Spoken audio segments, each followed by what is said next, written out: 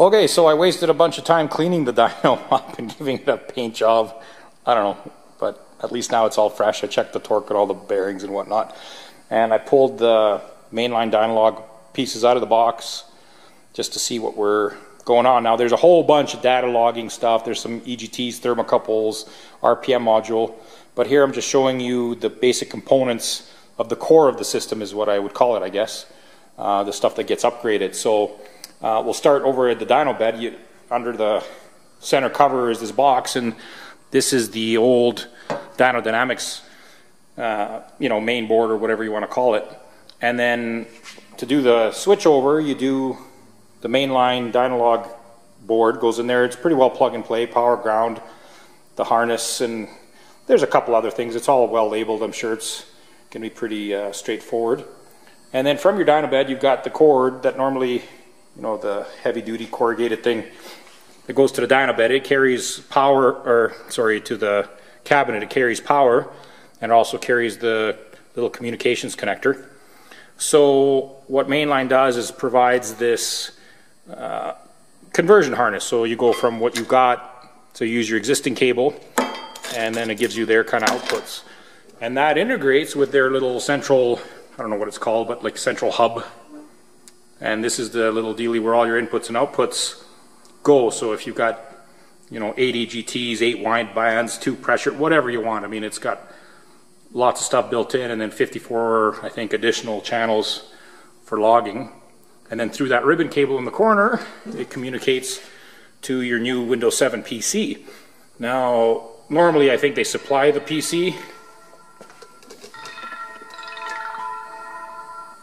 Normally they supply the PC, um, from what I understand, but I'm, I'm cheap and uh, it's bulky to ship all the way from Australia. so Todd just sent me the card.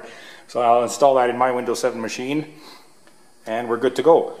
Now everything that was in your old cabinet, um, you don't need anything else. Uh, you don't need the main computer, uh, wideband unit, uh, anything that was in there, you just, I guess you can just toss it out or sell it or keep it I don't know.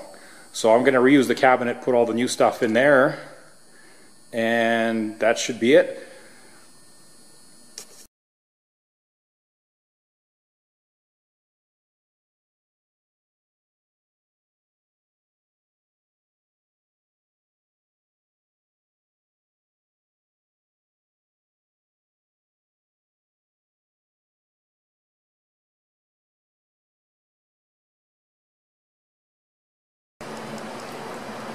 Okay, so very quickly I'm going to start just uh, pulling apart the, you know, the, the Dyno Dynamics original board.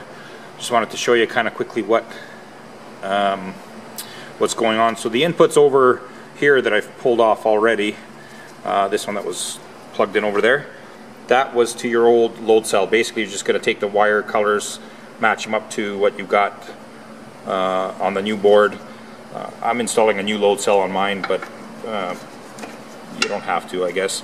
Uh, the input that was in here, that was to the uh, thermistor, that's like the emergency shutdown, I guess, if the retarder uh, overheats. Um, and these are the speed sensor wires. Um, they went here from the uh, from the speed sensor on the rollers. I guess there's two different styles. There's a two and a three wire. Mine's is just a two wire. So in that case, on on the you'll see later on the mainline board, you're just gonna hook them up to the signal and, and ground wires. Uh, moving on over here, you can see where the power comes into the cabinet, it's this big gray wire, or into the box. It screws down to the uh, thyristor that's underneath, I, I, presume. And then also from, from there we have two jumper wires coming back out, uh, blue and brown I think, these two. And they come over here to the little uh, fuses or circuit breakers or whatever and the output of those goes to a plug on the back of the box and this is what ends up going back to your cabinet to power your cabinet. So we have to hook all that back up but just a quick overview of, of what's involved. So we're gonna go ahead disconnect everything uh, pull the PC out uh, pull the uh, PC board out and uh, go from there. Okay so we got the dyno PC board done so we're just gutting the, the cabinet getting it ready for all the new stuff. So we're just taking all the old crap out and uh, of clean that up. It's a little dusty. All right, just installed the card in, in one of the empty PCI slots, and there's the ribbon connector in the back. And we can put the PC back together. All right, so here's the back of the cabinet. Got everything installed and wired up, and everything works and appears good. So we've got the PC on the bottom, the ribbon cable that controls it to the card. Pretty straightforward. Everything else plugs into the, uh, the analog uh, box uh, upwards I've got stored some of my sensors are stored the other side. The stuff that I'm not going to use on a kind of daily basis I just sort of tucked in under here. I've got a computer power supply, an extra one that I had kicking around, kind of wired that to supply power to my widebands because I kind of wanted to keep everything powered off 220 inside the inside the cabinet and that's that's your only power source. So a computer one you just flick a switch or some of them you don't even have to and they they just work. So pretty happy so far. Everything's going good. Todd got her all calibrated and set up, so we'll put everything away, clean up, and Here's start the- dynoing some cars. Front quickly, I um, clean out the cabinet. There's many years of dust. In the corner there, the stuff that I'm going to use on a regular basis, I got the uh, tach box, uh, injector probe, and then on top there I built a little you know, power distribution because my widebands, I always put a cigarette lighter on them so that I can put them in the car if I have to or whatever. And then I got eight. Uh, I used RCA cables as inputs just so, you know, quick and easy, single plug in, plug out for the stuff I use. I only got two cigarette lighters because realistically 99% of the stuff I do, I'm only running two widebands anyway. So that's good enough. And then down here I got the PC, the Windows 7 machine with the box and again my spare stuff. And I put the printer down there.